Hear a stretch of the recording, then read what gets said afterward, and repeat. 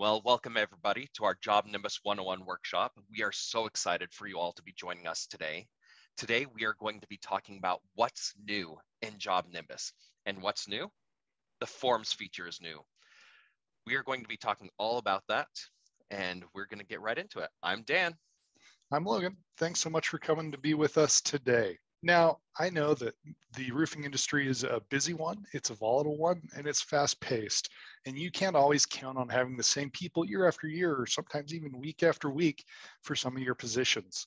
And that can lead to a major drain in institutional knowledge where not everybody knows every question that has to be asked everywhere you go, every photo that needs to be taken. And that can lead to extra trips out to job sites and other things that we're not really fans of. So we've made a solution for that and we call it our forms feature. Effectively, what the forms feature is, is it's a way to create checklists or different kinds of questions and photos that need to be taken that your people out in the field go through step by step on their mobile devices to make sure that they're getting every single thing that you need to make sure you do the job in a way that makes you look like a hero and uh, also puts a little bit of cash in your pocket. And today we're going to talk about exactly how to create those forms on the web app, how to use those forms on the mobile app, and then how to view those forms on both the web and mobile apps. To create a form, you'll need to use the website application. So go ahead and go to jobnimbus.com, log into your account, and then click on your profile icon up here. Select Settings from the drop-down menu, and then click Forms from the Settings menu. This will take you to the Forms tab. To create a form, simply eh, click the Create Form button. First thing you'll need to do is give your form a title. It can be anything, make sure it's descriptive for your team members so they know which form they're going to be using. I know Amazing Form isn't a great title, but we're going to put that right now because this is going to be an amazing form. If you need to describe it further, go ahead and use the description field. Then you'll want to add your sections or questions to the form. The type of the type of sections that you can add are checklist, where you can add in multiple options for your team members to check multiple of those different answers. This can be used for selecting different hazards around the house. We can choose a date, such as when the roof was last installed. We can eh, choose a drop-down or multiple choice. These are practically the same where you can add in multiple options like the checklist, but your team member will only be able to choose one of those options, one of those answers. This can be used such a, for questions such as when, uh, what type of roof it is.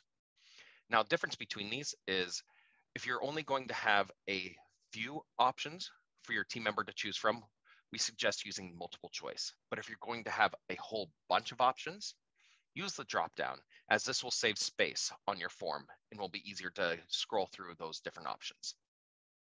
We can add in a number, such as the square footage of the roof, a paragraph or a short answer.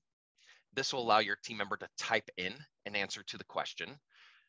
As you can guess, short answer, they can only type in a short answer, or a paragraph, they can type in a novel if you really want them to. Or we can choose a photo. Photos will allow your team members to use the camera on their mobile device to take a picture of the damage. Once we select what type of section or type of question it is, we then can give it a title, or this is where we can ask the question that they're answering. We can further describe the question here in the optional description field if needed. We can then mark it required. This will make it so that the team member will not be able to go on to further questions until this one has been answered. We can copy it. This will duplicate that section. We can even delete a section if needed, or we can click this plus button right here to add in an entirely new section and choose what type it is. Once we have multiple questions or sections on your form, we can rearrange those by clicking and dragging them to a new spot.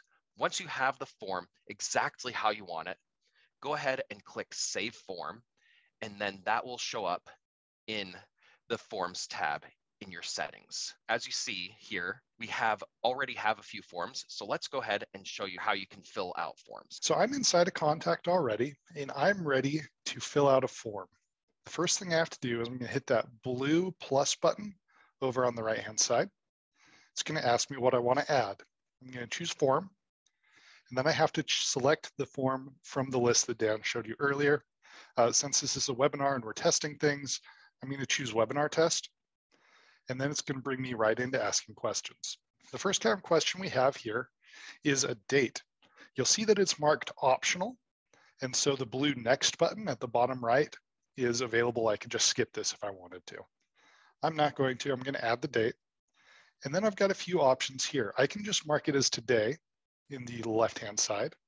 I can scroll through months and years if it's something old.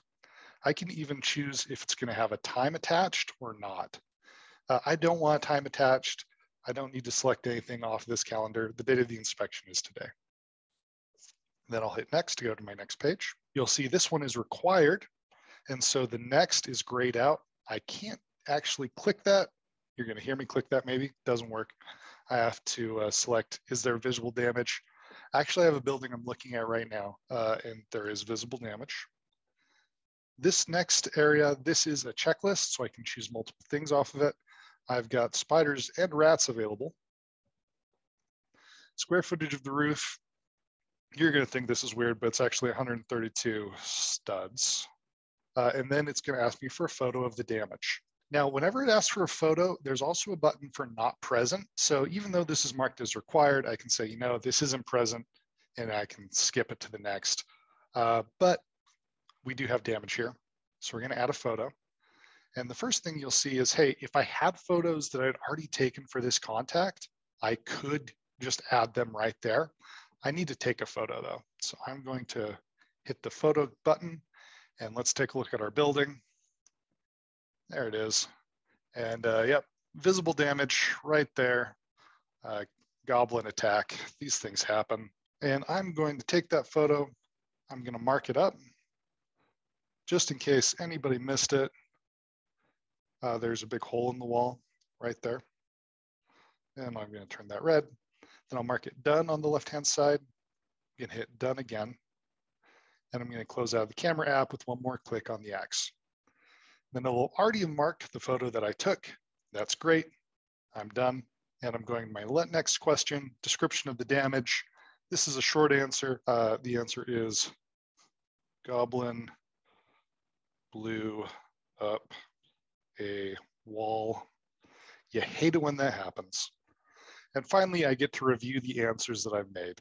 So I can tap on any one of these and it'll pull up exactly what I answered. If I want to change any of the answers now, this is the time.